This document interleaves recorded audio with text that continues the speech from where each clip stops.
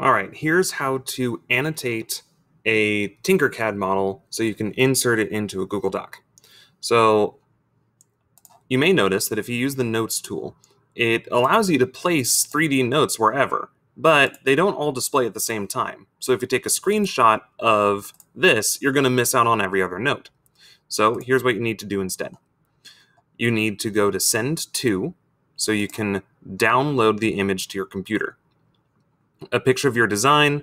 I'm going to click download locally so it saves to my computer. Now I'm going to go into my Google Drive and make a drawing. So I go to New, I go to More, and then I go to Google Drawings. Create, I'm going to call it something that makes sense after it loads, like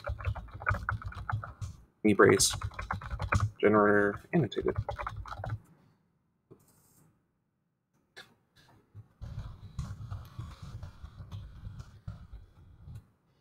we are. And I'm going to go to File, or excuse me, Insert, Upload from the computer, and look up knee brace generator example, this one that I just downloaded. Awesome. Now I'm going to click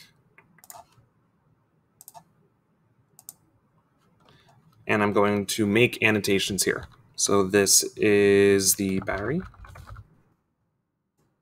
over there. Another one. This is the generator.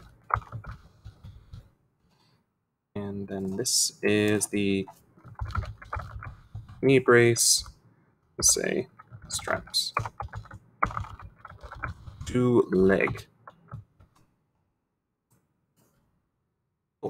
Now I can click File, Download, and a PNG. So knee brace generator annotated. Now I'm going to go into my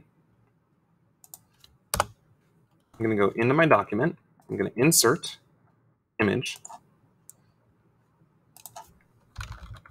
Knee brace generator annotated. And there it is.